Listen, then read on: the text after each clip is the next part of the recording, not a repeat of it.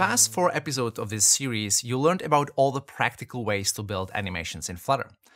Not so in this video. Here you'll learn how to implement animations in the least pragmatic way imaginable. But you'll also learn some things along the way. Let's start with something simple and lighthearted.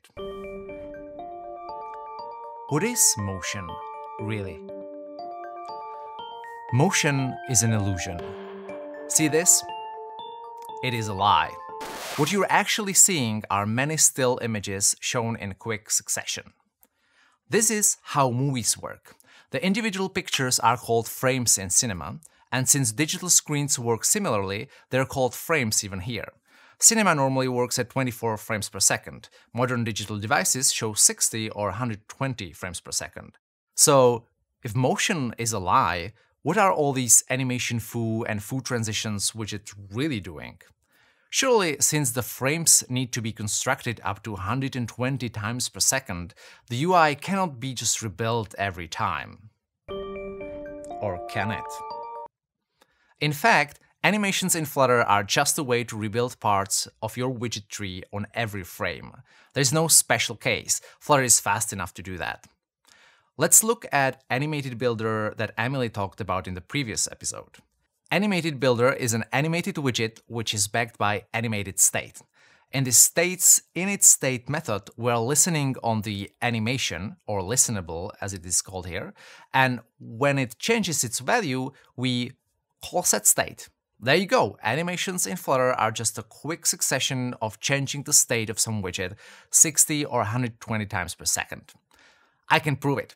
Here's an animation that animates from 0 to the speed of light. Although it's changing the text on every frame, from Flutter's perspective, it's just another animation.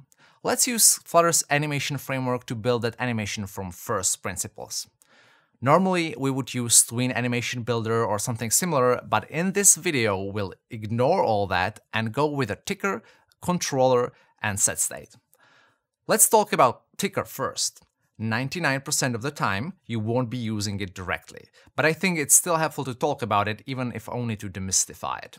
Ticker is an object that calls a function every frame.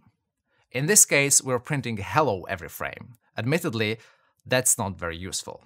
Also, we forgot to call ticker.dispose, so now our ticker will go on forever, until we kill the app. That's why Flutter gives you single ticker provider state mixin, the aptly named mixin you've seen in some of the previous videos. This mixin takes care of the hassle of managing a ticker. Just slap it onto your widget state and now your state is secretly a ticker provider. What this means is that the Flutter framework can ask it for a ticker, most importantly, Animation Controller can ask it for a ticker.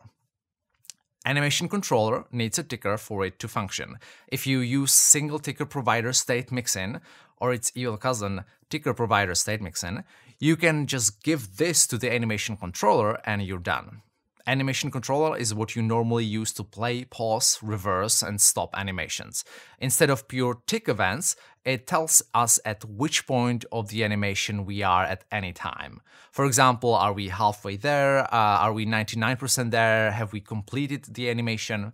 Normally, you take the animation controller, maybe transform it with a curve, put it through a tween, and use it in one of the handy widgets like Fade Transition or Tween Animation Builder. But for educational purposes, let's not do that. Instead, we will directly call setState. After we initialize the animation controller, we can add a listener to it, and in that listener, we call setState. Now we should probably have some state to set, let's keep it simple with an integer. And let's not forget to actually use it in our build method and to change it in our listener according to the current value of the controller. This code will assign a value from 0 to the speed of light depending on the animation's progress. There, and now we just need to tell the animation how long it should take to complete and start the animation. The widget animates as soon as it's added to the screen. And it animates from 0 to the speed of light in a second. Oh, and don't forget to dispose of the animation controller. As you can see, doing it all by yourself is not great. The exact same functionality can be achieved with the Tween Animation Builder in much fewer lines of code and without having to juggle with an animation controller and calling set state. So, once again, don't do this. There are easier ways to animate. this was just a deep dive into the building blocks of the Flutter animation framework.